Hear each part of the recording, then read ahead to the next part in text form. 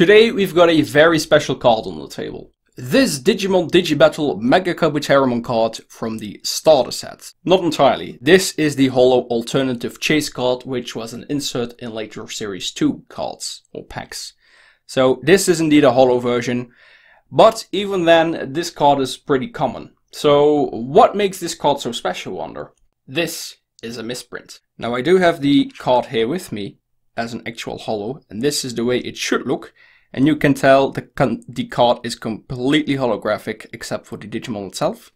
Whilst this one, ooh yeah, there's a lot of strange patterns going on. We've got two big boxes on the top We've got this strange shape here, another box at the bottom, and then we've got another shape right here. This card actually has two different holo cards printed on it. And that makes this one so unique, because neither one of them actually is Mega Kabuterimon. Furthermore, as a matter of fact, they're upside down. Because the one at the bottom right, I was able to tell this is Puppetmon due to the little bell hanging from his little hat. And I have a Puppetmon here with me as well. Yeah, you can tell that there is indeed that bell, you see the cross, but uh, indeed it is upside down. So if we do turn it around, there we go. You can now clearly see that indeed that outline, that shape is meant to be the Puppetmon.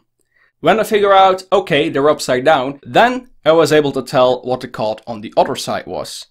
Because at first I thought this was an ear, but no, this actually is the beak of no one less than Tortomon, which is also a chase card from the same set. So you can see how that beak indeed also lines up perfectly, as well as the foot right there. And knowing that this is just one out of many cards that are probably out there like this, because these cards are always printed on an entire sheet. So there must be plenty, plenty more of these out there. So if you happen to have more of these, please let me know because I would like to collect more of them. It's uh, it's such a cool little misprint and I, I really like it. So yeah, bit of a short video today, but I uh, I just wanted to share this with all of you. So there you go.